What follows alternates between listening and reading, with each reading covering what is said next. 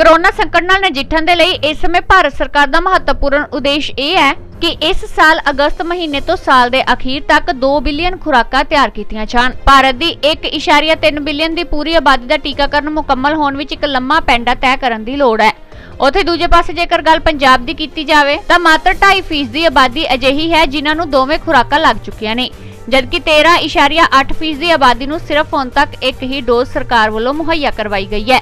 ਗੱਲ ਜੇਕਰ ਨਿਰਧਾਰਤ ਪ੍ਰੋਟੋਕੋਲ ਦੀ ਕੀਤੀ ਜਾਵੇ ਤਾਂ ਉਸ ਅਨੁਸਾਰ ਦੋਵਾਂ ਖੁਰਾਕਾਂ ਪ੍ਰਾਪਤ ਕਰਨ ਵਾਲੀ ਕੁੱਲ ਆਬਾਦੀ ਦਾ ਪੰਜਾਬ ਦਾ ਹਿੱਸਾ ਕੌਮੀ ਔਸਤ ਤੋਂ 3.2% ਦੀ ਘੱਟ ਹੈ।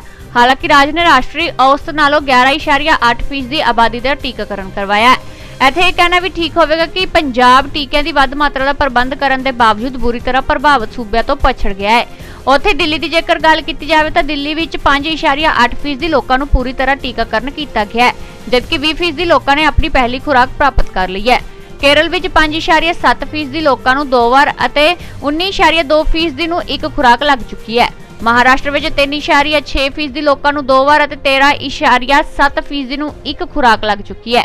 ਹੁਣ ਜੇਕਰ ਗੱਲ ਗਵਾਂਢੀ ਸੂਬੇ ਹਰਿਆਣਾ ਦੀ ਕੀਤੀ ਜਾਵੇ ਤਾਂ ਪੰਜਾਬ ਉਸ ਤੋਂ ਵੀ ਪਛੜਿਆ ਨਜ਼ਰ ਆ ਰਿਹਾ ਹੈ।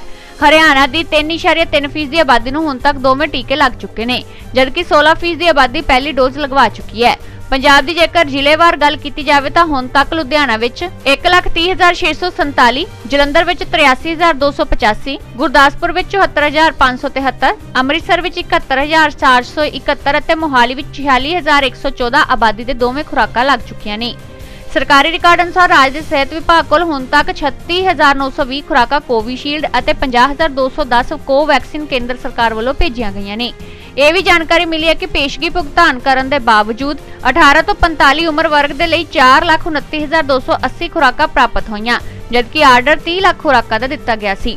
ਉੱਥੇ ਵੈਕਸੀਨ ਦੀ ਕਿੱਲਤ ਦੀਆਂ ਖਬਰਾਂ ਦਰਮਿਆਨ ਸਰਕਾਰ ਵੱਲੋਂ ਆਪਣੀਆਂ ਕੋਸ਼ਿਸ਼ਾਂ ਦਾ ਲੇਖਾ ਜੋਖਾ ਰੱਖਦਿਆਂ ਕਿਹਾ ਗਿਆ ਹੈ ਕਿ ਕੇਂਦਰ ਸਰਕਾਰ ਹਰ ਰੋਜ਼ 1 ਕਰੋੜ ਲੋਕਾਂ ਦੇ ਟੀਕਾਕਰਨ ਦੀ ਤਿਆਰੀ ਕਰ ਰਹੀ ਹੈ ਤੇ ਦੇਸ਼ ਵਿੱਚ ਛੇਤੀ ਹੀ 4 ਵੈਕਸੀਨਾਂ ਉਪਲਬਧ ਹੋਣਗੀਆਂ। ਬਿਊਰੋ ਰਿਪੋਰਟ, ਵਧੇਰੇ ਖਬਰਾਂ ਲਈ ਤੁਸੀਂ ਵੇਖਦੇ ਰਹੋ ਅਜੀਤ ਵੈਬ ਟੀਵੀ। ਦੇਸ਼ ਦੁਨੀਆ ਦੀਆਂ ਤਾਜ਼ਾ ਖਬਰਾਂ ਦੇ ਲਈ ਹੁਣੇ ਪਲੇ ਸਟੋਰ ਤੋਂ ਡਾਊਨਲੋਡ ਕਰੋ ਪੰਜਾਬ ਦੀ ਆਵਾਜ਼, ਅਜੀਤ ਨਿਊਜ਼ ਐਪ। ਹੁਣ ਤੁਹਾਡਾ ਆਪਣਾ ਅਜੀਤ ਹਰ ਸੋਸ਼ਲ ਮੀਡੀਆ ਪਲੇਟਫਾਰਮ ਦੇ ਉੱਤੇ ਉਪਲਬਧ ਹੈ। ਫੇਸਬੁੱਕ ਦੇ ਉੱਤੇ ਹੁਣੇ ਲਾਈਕ ਤੇ ਫੋਲੋ ਕਰੋ ਅਜੀਤ ਦਾ ਅਫੀਸ਼ੀਅਲ ਪੇਜ ਡੇਲੀ ਅਜੀਤ ਤੇ ਹਾਂ, ਨਾਲ ਹੀ ਦੋਸਤਾਂ ਨੂੰ ਪੇਜ ਲਾਈਕ ਕਰਨ ਦੇ ਲਈ ਇਨਵਾਈਟ ਕਰਨਾ ਨਾ ਭੁੱਲਣਾ। ਇੰਨਾ ਹੀ ਨਹੀਂ, ਹਿੰਦੀ ਦੇ ਵਿੱਚ ਖਬਰਾਂ ਵਾਸਤੇ ਲਾਈਕ ਤੇ ਫੋਲੋ ਕਰੋ ਸਾਡਾ ਫੇਸਬੁੱਕ ਪੇਜ ਅਜੀਤ ਸਮਾਚਾਰ, ਹਿੰਦੀ। YouTube ਦੇ ਉੱਤੇ ਵੀਡੀਓ ਖਬਰਾਂ ਦੇਖਣ ਦੇ ਲਈ ਹੁਣੇ ਸਬਸਕ੍ਰਾਈਬ ਕਰੋ।